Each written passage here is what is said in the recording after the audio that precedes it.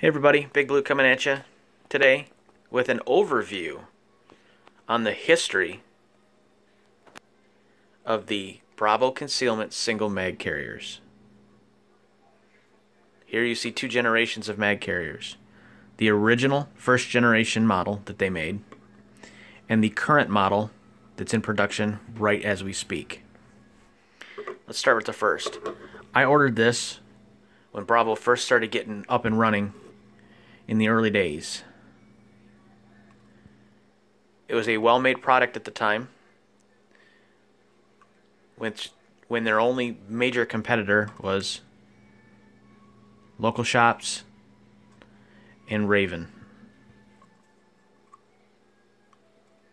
Not here to slam anybody or anything, but I've owned this since they started. It has served me extremely well and still serves me to this day. This holds the mag extremely tight. This had very solid lockup retention of the magazine, which is how I want it. I don't want it too loose. I'd rather have it tight. Because in a stress-filled environment, you're going to grab and rip as hard as you can because of your heart rate, your blood rushing to all your extrem rushing from your extremities. In the heat of the moment, tighter is better. And that's what she said back to the product. The belt loops, as with most companies' belt loops back then, were handmade and crudely formed usually. Very, very few people, unless you had the ton of money that it took to produce your own injection molded loops, did so.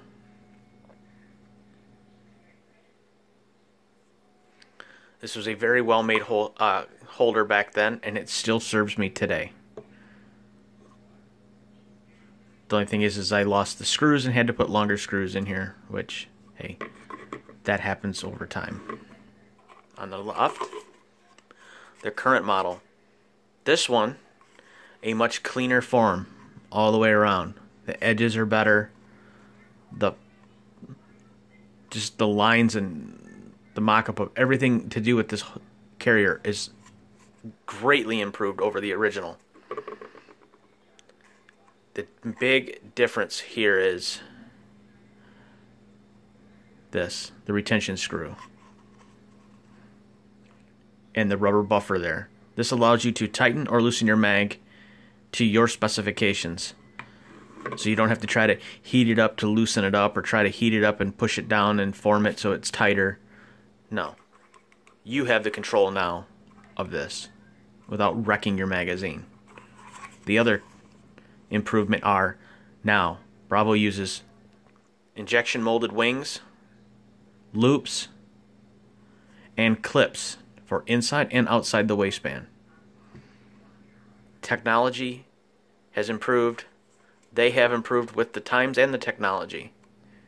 Also, I believe this was a sub $40 magazine carrier back in the day.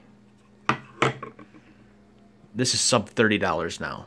Streamlined their process, more, brought their prices down.